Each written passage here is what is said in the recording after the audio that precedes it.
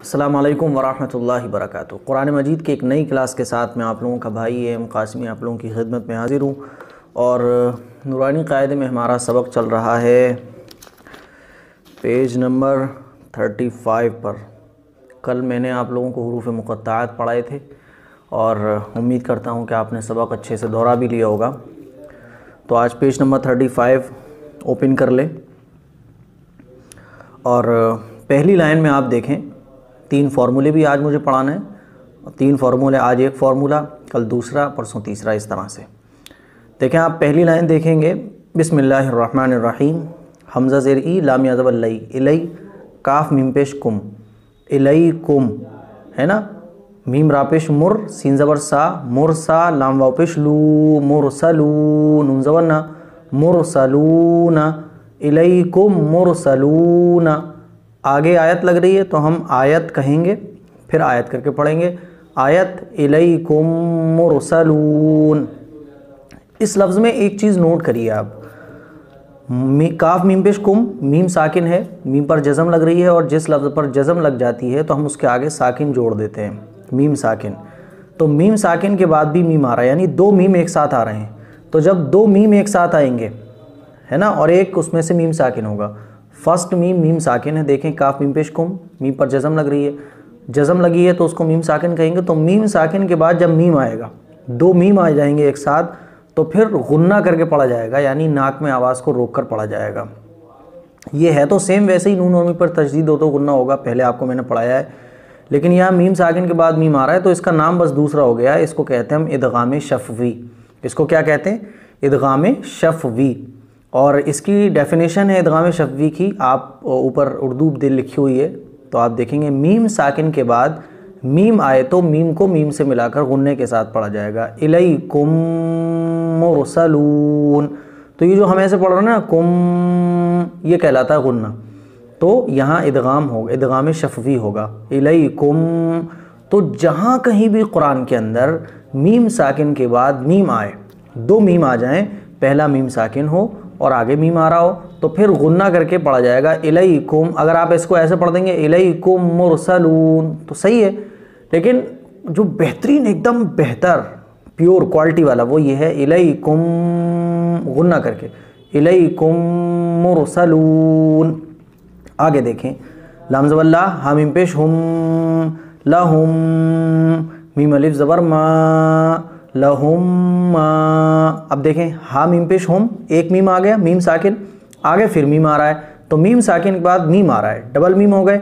इसी वजह से यहाँ इदगाम शफवी होगा। यानी आप नाम थोड़ा सा लगे, लेकिन काम वही है घुनने वाला। लहुम या ज़बर या।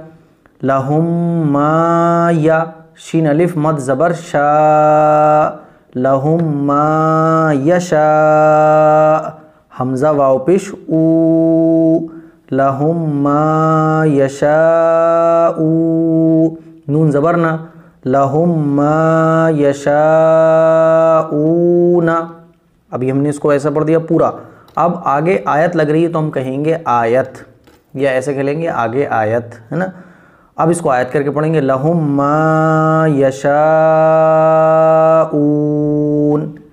इस तरह से आप पढ़ेंगे।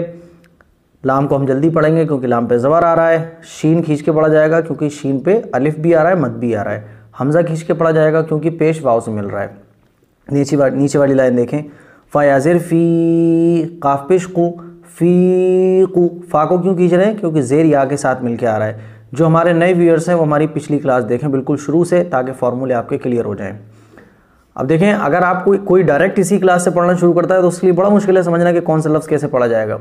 इसी वजह से ये बेसिक है। नूरानी कायदा आपका जितना मज़बूत होगा, उतना बेहतरीन आप कुरान पढ़ना सीख जाएँगे। फ़याज़िर फ़ी काफ़िश कु काफ हलक से आवाज़ निकलेगी। फ़ी कु लाम वापिश लू फ़ी कुलू बाजिर भी फ़ी कुलू भी हम ज़ेर हिम।